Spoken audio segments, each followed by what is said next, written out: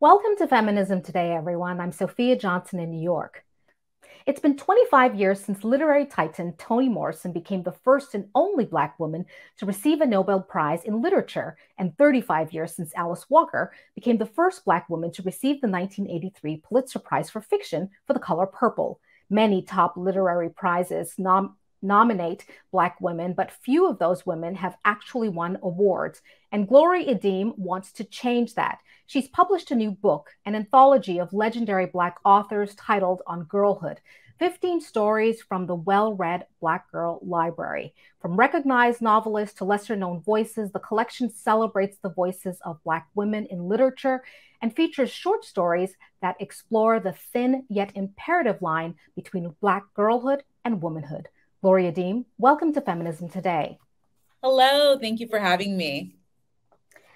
You started the book with Jamaica Kincaid's Girl, in which a mother offers fierce instructions to her impressionable daughter. Why did you use it and what does it mean to you?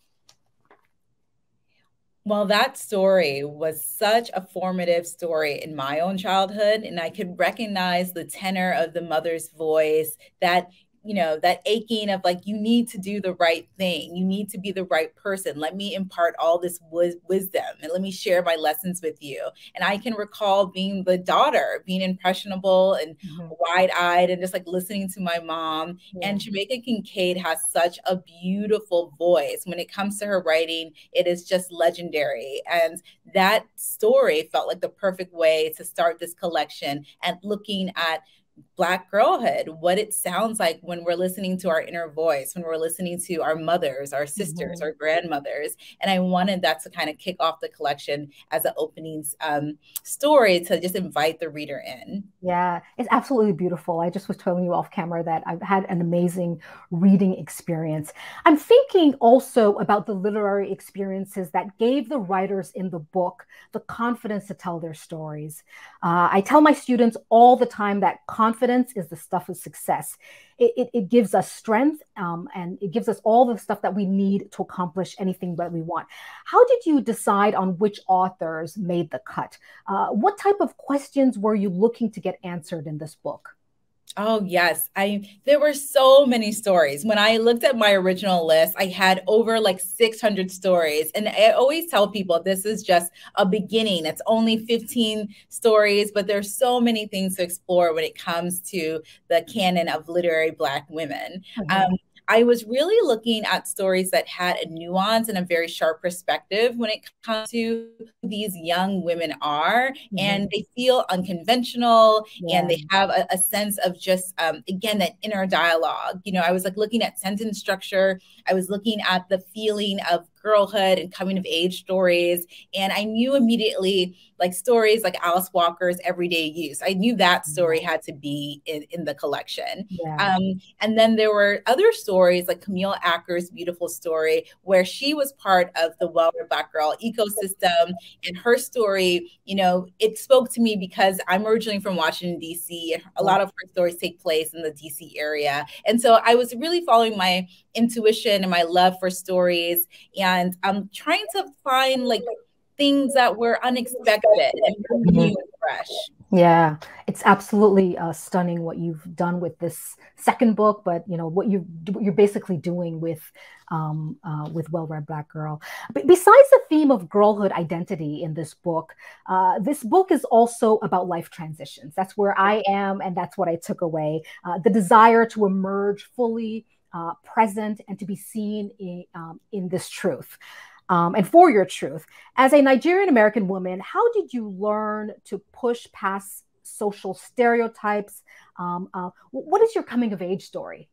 Yes, that's a wonderful question. Uh, you mentioned earlier this idea of having confidence. I feel like my parents instilled a lot of confidence in me, but that was also paired with this idea of being community oriented and collaborating with people and cultivating a sense of self through like good work and good deeds, like really going out there. That's part of my coming of age story, really finding myself, understanding my heritage, um, understanding it in the context of being, you know, a first generation Asian Nigerian American and making sure that I'm being authentic and honest with my story. And th- that story is also full of lots of mistakes and rejections and failures, but that doesn't diminish my value. That still makes me a worthy person. And I think that it's so important. And, and in the collection, I try to share these stories that have a lot of complex uh, themes and ideas. It's not just one sided. Um, and I think we need more coming of age stories, especially of for young Black girls and young uh, girls of color to see that there's not to steer away from perfection and just to be yourself, be your whole self, yeah. and be honest with yourself. And you can still succeed in all amounts of ways. You know, there's a clear pathway to success. It's all about being yourself and being uh, living a full life. And I try to really um, embark that in the literature and the festival the organization. Tell your story and own it and be honest with it.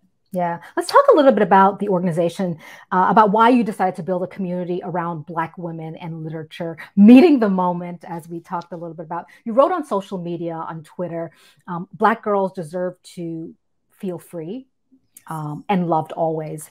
Um, and you've said elsewhere in other um, publications, books are the foundation of the community you've built around read, well-read uh, Black girl, um, um, and but so is activism.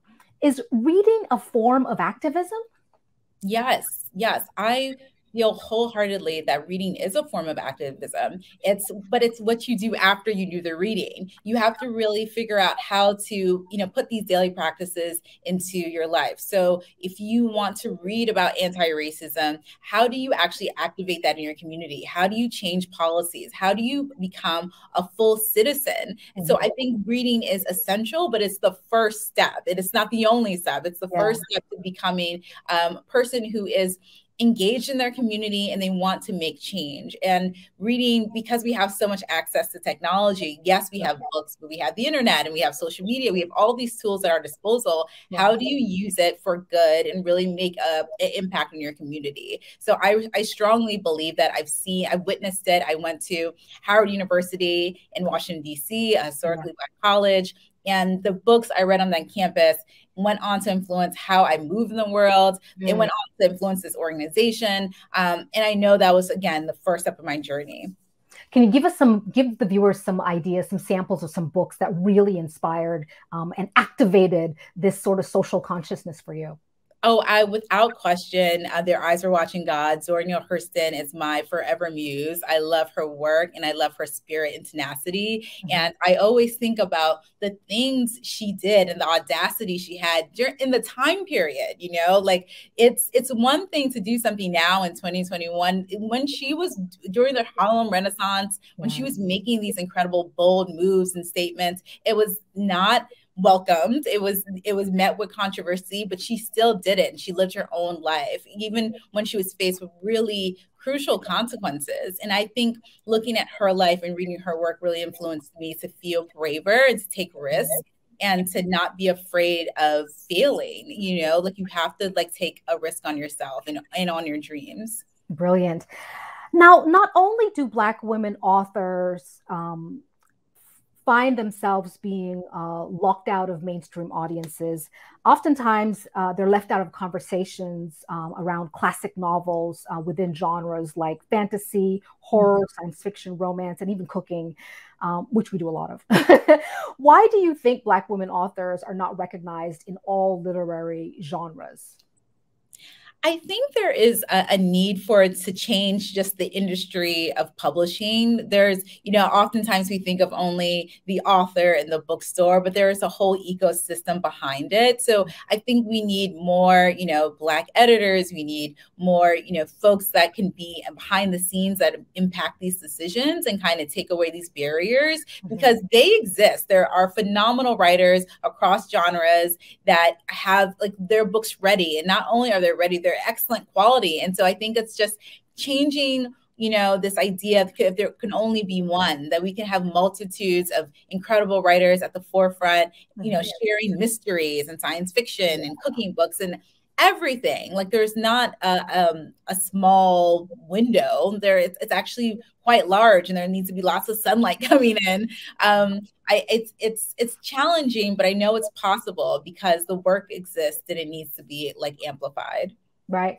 Now, many Black women um, authors are also left out of spaces that include literary giants. I'm thinking yes. about, especially um, in, in the feminist discourse. Um, what can Black women writers do to break those barriers?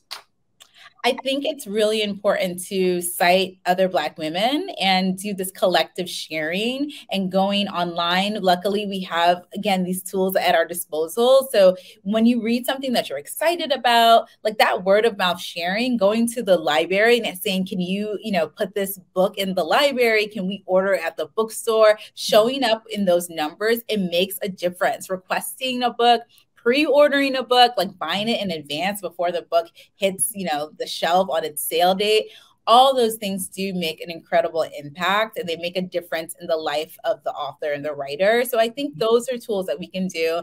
Um, and we are a collaborative spirit. I feel like that is a part of our our calling and our ethos to be generous. So, you know, spending your your money wisely and investing in local bookstores as well yeah. is another way to help uh, Black women continue to succeed in this field. Let's talk a little bit about uh, Gloria Jean Watkins. Last week, we lost trailblazing scholar and activist yes. Gloria Jean Watkins, who wrote under the pen name Bell Hooks. Yes. Um, as a tribute to her grandmother, she wrote under this uh, pen name.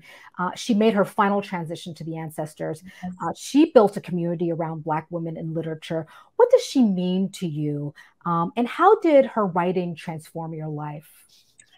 Wow, that is such that's such a phenomenal question. For for me, Bell Hooks really taught me um, this idea of loving yourself and loving your own genius and understanding the power of your intellect. Without her wisdom and her words, I would not be able to give myself the um, the credit you know she made it known that she valued her own self and she understood the power of her words and by her modeling that i think so many women especially black women were able to just see themselves and mm-hmm. understand the power of their their own storytelling. Um and she just was so so incredibly brilliant. Like i've read you know all about love and salvation and um, Sisters of the Yam, like all of these books mm. imparted so much knowledge and allowed me to see myself more clear and have a healthy understanding of who I was becoming.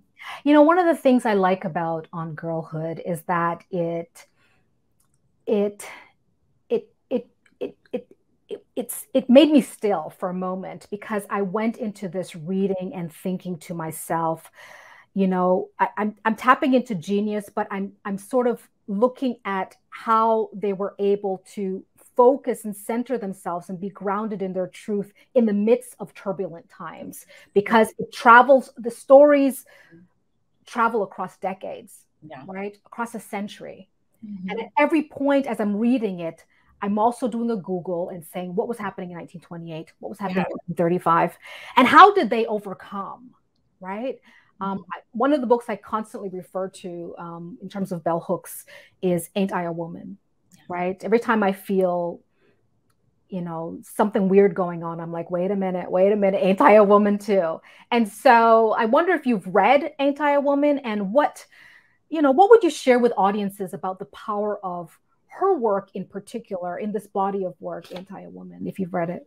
Yes, I have read it. And I, I again, that centering and that being clear on who you are, yeah. and not letting others change that perspective of you, coming yeah. back to center, being clear and focused about your worth and your audacity and your boldness. I think all of these legendary foremothers have given us that gift. It's it's almost an offering of you can do this. You can tell your own story. You can be clear in your intentions, in your hopes, in your dreams, and not need validation from any other person. Sure. And I think that is what resonates with me when I read that work. It's like come back to self yeah. know who you are know your goals know your dreams very clearly yeah. Um, and again bell hooks has been able to do that for me and she continues to bring forth the other literary, uh, like not even just literary historians, these iconic figures. Like she calls on Sojourner Truth, she calls on Morrison,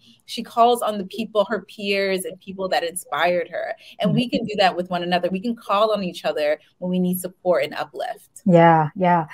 Uh, talking about the reach and the extent to which you know she, you know there's a there's, there's a collective uh, around her work. During the Black arts movement in the 1960s, Black women writers were freely um, speaking on topics like racism, classism, sexism. Do you see any parallels with the Black arts movement to uh, Black women writers today? Oh yes, 100% because we what I found at least with within my organization it's like there is a call and response. We are responding to the things that happened in the past and there and unfortunately there are these issues that you named are still happening. There's so many that we, we're at a crisis when it comes to racism and white supremacy and patriarchy and capitalism all things that these incredible activists had to address during the Black Arts Movement. Mm-hmm. And um, it hasn't stopped. So yes, the tactics and the, the tools on how we address things have changed because of social media and technology to a certain extent, but the issues, the core issues are still here and they still need to be unpacked and explored and even um, addressed even more aggressively, you know, because I think that there is like this almost, we're over inundated with with technology and knowledge. Like how do we get back to how how do we actually find resolve and ch- make change? Yeah. um, and i another thing i think of when i think about the movements is this idea of continuing to be hopeful. There's a lot of things that we could be deterred and despondent about but this idea of being encouraged and hoping for a better future. If even if we don't see it in our lifetime, we need to hope for future generations and to think that the the life that we want to live is possible. Mm-hmm. And I really attribute that to the movements of the past. When I think of the civil rights movement, when I think right. of the Black arts movement, there is a hope and there's a tenacity to keep going forward. Yeah, you're absolutely right about that. And especially for me, becoming a parent, you start to think to yourself, okay, I'm not going to get to the promised land. I might not get there, not today, but I'm going to put my money on it for you guys, right? Yes, yes. I'm, I'm a mother as well. And I, I, I deeply, deeply think in that perspective because I want the best for my son. I want the best for your, your children as well. Like we need to think about a brighter future. Yeah. Now, Glory, what authors help you think about your identity and your place in the world as a writer? Oh, I absolutely love there's the list is endless. It really truly is. I love Morrison, I love Walker, mm-hmm. I love Maya Angelou, I like all, all these incredible women. I think the um I'm thinking more and more about Toni Cade Bambara as of lately and mm-hmm. thinking about her work as a um, a cultural worker, as a playwright, as a, a woman of so many different modes. And I like to to think of the work that I'm doing is a cultural worker. Like I like to work in different mediums and spaces, yeah. but I really like to be very hands-on and grassroots. Like I want to be in spaces where there's it's accessible and people can talk to me and reach me and yeah. you know, uh, be very close. Because I think there's something that happens when you can have one-on-one contact when you have real conversations when you can look someone in the eye yeah. uh, that's when transformation happens you know and it's a little bit slower at times yeah. um, but that this idea of planting seeds i was i'm very inspired by toni cade bambara's work and how she was able to do that and, and her bravery yeah yeah absolutely when did you learn that you weren't just a reader um, an observer um, but also a writer with something impactful to contribute to the discourse? I um I was a journalism major and I I loved reading um, stories and you know, through creative writing and obviously like nonfiction books as well and memoirs. Um, but I think something probably sh- like shifted once I graduated and I was like in the real world, world per se. Yeah. And it made me i felt more enticed to just like write everything down and to be like actually write down my observations and experiment with form. And so you know i, I tried my hand at writing a novel and I, I wrote some plays i wrote some poems and i wasn't um afraid to like write something and not it and not have it like be out for consumption. It wasn't necessarily for others. It was just for myself. Mm. And I think that creative practice uh, allowed me for when it was time to like share it with the audience and write the anthology and do all this research. I, I had practice. I had a lot of time with myself trying to figure out what my voice was. Um, and I also feel like these anthologies really embody the community work I'm doing. It's like I'm gathering these incredible stories in order to share them with other people and have conversations and talk about different ideas and even look how literature is um, part of like you know political movements and you know identity building. It's it's such a fortifying feeling to see other people respond and read and have the same reactions I'm having, or sometimes completely opposite reactions. But either way, it, it does provoke feeling and emotion. And that's a beautiful thing to witness. For sure. I've read that you're a big journaler. You journal and you've been journaling for a while. How long have you been journaling? Um, one, is it true? And how long have you been journaling? And what can you tell our younger audiences about the importance of this sort of reflective experience? Yes, I it is true. I journal. I've been journaling since I was like 10 years old. Wow. like I have, I have, journals upon journals. And one thing, um, again, that, that perfection of voice, like that finding your voice. I can see it in the pages of my journal. I can see like the silly things I was writing about. And, you know, sometimes they're completely nonsensical. And I could also see when I was like really, you know, formulating like real opinions about you know politics and like forming my ideology like i was i can see the growth and it's yeah. just so amazing to look back at your younger self and you know sometimes you're giving yourself a round of applause and then sometimes you're just like cringing at the yeah, yeah, but it is it is very rewarding to kind of just look at look back and have a reflection of who the who you were. Yeah. um, and even now i'm doing it now i'm in this new phase of motherhood. My son is still very young and i'm even i'm writing letters to him and thinking about who he will be when he gets older and hopefully he'll read them and see them. And yeah. i think it's just important for for young people to do that. Like write down your ideas and don't yeah. be afraid of who who you're becoming. Yeah yeah. I've read that you were also working on a memoir Yes, I am. yeah, I'm working on a memoir, and those journals have come in handy. I bet.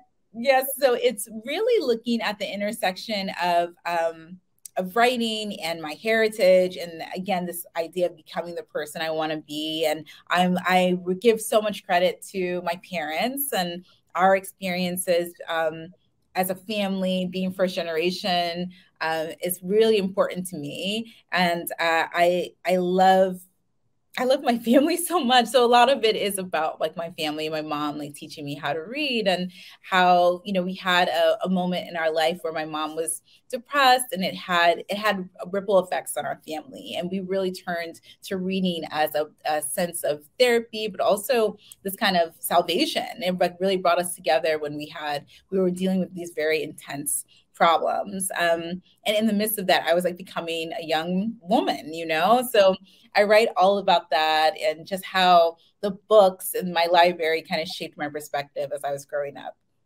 Very nice. Let's talk a little bit about, um, uh, let's go back to the anthology for a moment. The book ends with an essay by Zora Neale Hurston titled How It Feels to Be Colored Me originally published in 1928. Could you read for us the second paragraph on page 181? Oh, yes, I would love to. That essay is full of so much strength and love. And there's here is this uh, passage. But I am not tragically colored. There is no great sorrow dammed up in my soul, nor lurking behind my eyes. I do not mind at all. I do not belong to the sobbing school of Negrohood who hold that nature somehow has given them a low down, dirty deal and whose feelings are all but about it. Even in the helter skelter skirmish that is my life, I have seen that the world is to the strong, regardless of a little pigmentation, more or less. No, I do not weep at the world. I am too busy sharpening my oyster knife. Gloria, I read this at least 10 times over and over. The first time I read it, it brought tears to my eyes. And I thought, you know, I'm not going to cry, but it is, it is, this is, it sort of carries us through. The, the, the anthology starts with the advice of the mom, right? Yeah. And mom gives you advice, but you, it, it cannot protect you from the winds of the, the storms of the world until you go out into the world. And in the final analysis, Zora gives us this. Yes. How did you decide on this? Why did you do this to me? you know, and thank you for doing this to me. But what did you want readers to take away from this final essay?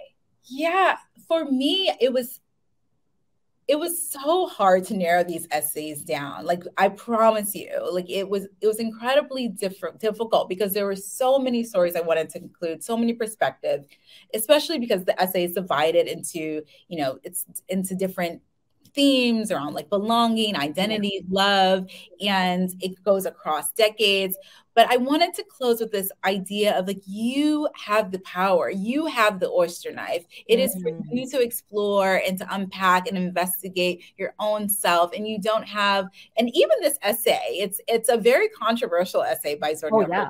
Like there's so many ideas about that that statement about the pigmentation and this idea of kind of you know being the sobbing school. You know, there's but again, you get to interrogate that the meaning behind that, and you get to make the decision on who you are and your identity. And mm-hmm. all of the stories throughout the collection have that sharpness and have that real clear intellect of I get to decide and no one else. And I hope that is what the, the reader takes away. And they are inspired by Zora Neale Hurston, but they're also inspired by all the authors in the collection for to them to cultivate their own beautiful sense of self what's next for well-read black girl community? Um, i'm curious about the diaspora the diaspora um, you know blacks in the diaspora. I myself from toronto so i called up of course i called up my sisters and say hey have you heard of? So i'm just wondering how are you building out this community? What what um, what spaces what countries? I mean how are you sort of building it out? What's the next step Yes, I well, I'm looking to go global and I'm looking to expand things. And I have a new podcast coming out. So there's going to be the Well Read Black Girl podcast that launches on February 1st of 2022. Mm-hmm. So I'm super excited by that. So people can listen to conversations. I'll be in conversations with some incredible authors like Tarana Burke and Min-Jin Lee. Um, I'm so excited about that so people can listen because there's one thing to read but it's also to be in conversation and hear the voices and get advice about craft and creative process you know so we're just going to continue to deep deep dig deeper into the process of what writing looks like and how it feels for us and how we can continue to like build our stories Glory Edim, thank you so much for joining us this week. And that's it for our program today. Remember, you can follow me and the show on Instagram or Twitter. Thank you so much for watching Feminism Today on Free Speech TV. Join us again next week.